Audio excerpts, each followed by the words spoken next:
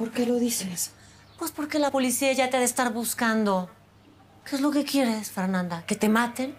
Y de paso que nos maten a todos acá. Sabes que Juana tienes toda la razón. Pues sí.